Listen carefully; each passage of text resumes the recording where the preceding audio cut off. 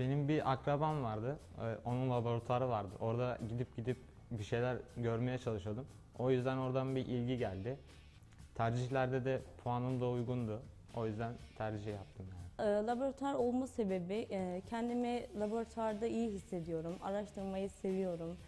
İnsanlara faydalı olmayı seviyorum, üretmeyi seviyorum. Ee, Bu yüzden e, bu programı tercih ettim. E, açıkçası liseden beri sağlık bölümlerine karşı bir ilgim, alakam vardı. Bu bölümleri araştırırken de laboratuvarda e, genetik, mikrobiyoloji, biyokimya buralarda kendimi daha iyi hissedeceğimi, daha iyi e, çalışabileceğimi düşündüğüm için bu bölümü seçtim. Ee, Ben lise bittikten 7 yıl sonra bu programı tercih ettim. Onun öncesinde 6 yıl kadar özel bir hastanede dahiliye asistanlığı yaptım. Benim şöyle bir hayata bakış açım var. Benim yaptığım meslek para kazanmanın yanı sıra insanlara fayda sağlayabilecek bir meslek olmalı. Ya öğretmen olmalıydım, eğitim vermeliydim çocuklara ya da sağlıkçı olup insanların hayır dualarını almalıydım.